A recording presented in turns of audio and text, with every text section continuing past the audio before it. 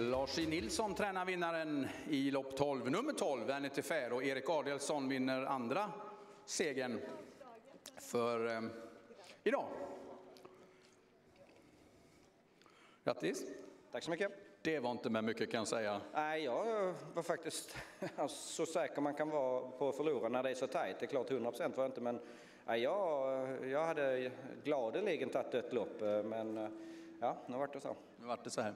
Eh, Vanity Flair som eh, fick en alldeles för bra start nästan från början där. Ja, det blev ju så. Och, eh, eh men fick ju bara gå 500-600 meter, fick en fin rygg senare, sedan. Sen eh, vart eh, Jockes häst lite ensam, 400 kvar. Eh, och jag var på väg att bara segla förbi den, men den visade fin uppfattning, sträckte på sig direkt jag kom upp. Jag sa faktiskt till Jocke, oh det där känns inte bra. För det märktes att hans häst verkligen hade fin inställning. Ja, sen krigade de hela vägen hem. Mm.